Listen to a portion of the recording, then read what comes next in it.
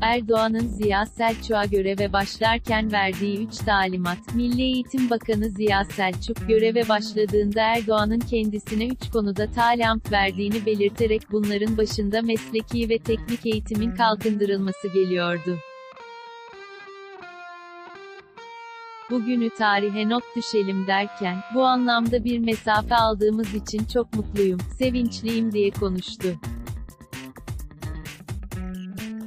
Milli Eğitim Bakanlığı, Sanayi ve Teknoloji Bakanlığı, İstanbul Teknik Üniversitesi, İstanbul Sanayi Odası ve İstanbul Ticaret Odası arasında Mesleki Eğitim İşbirliği Protokolü törenle imzalandı.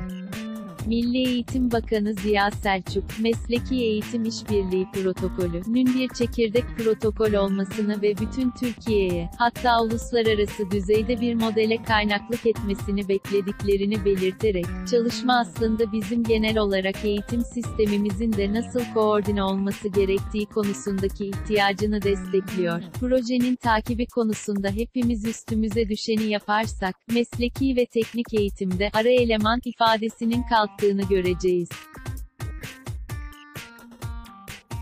Biz artık aranan eleman demek istiyoruz, ara eleman demek istemiyoruz dedi.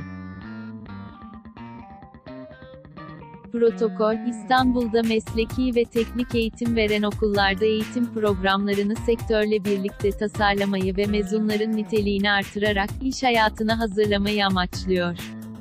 Erdoğan'ın 3 TALİMATYNDAN biriydi. Milli Eğitim Bakanı Ziya Selçuk, protokol töreninde yaptığı konuşmada, göreve başladığında Cumhurbaşkanı Recep Tayyip Erdoğan'ın özellikle, 3 konuda atılım beklediği, ne ilişkin talimatı olduğunu belirterek, bunların başında mesleki ve teknik eğitimin kalkındırılması geliyordu.